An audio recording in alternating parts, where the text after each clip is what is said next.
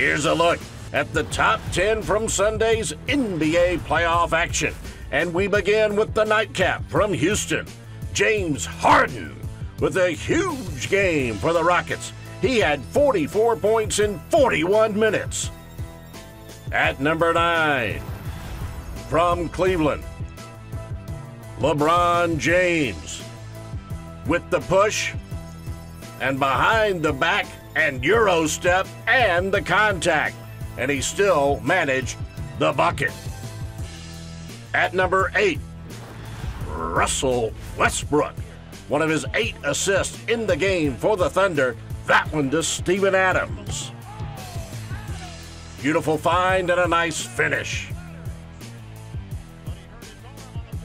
At number seven, Clint Capela got the block for the Rockets, hustled down the floor, and got the finish for the Rockets on the nice feed from Harden. Clint Capela, a great game for Houston in their Game 1 victory over the T Wolves.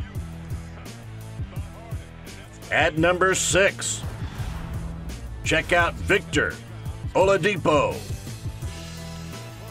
on the fast break for the Pacers. Over to Domantas Sabonis. Great game for Oladipo and the Pacers. At number five, Ricky Rubio got the steal and delivered the behind the back pass to Donovan Mitchell for the nice finish in transition. At number four, the Thunder defense coming alive. Russell Westbrook, two of his 29 points as he finished in transition for the Thunder. At number three, Lance Stephenson. Right down the lane in Cleveland. Big time finish for Stephenson. At number two, from Boston, Terry Rozier. Crossover step back three with a half a second remaining on the clock. Clutch bucket for Rozier for the Celtics.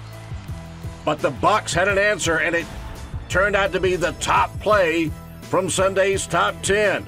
Khris Middleton, with a half a second to go, throws it up, beat the clock to force overtime. That's a look at your top 10 plays on NBA.com.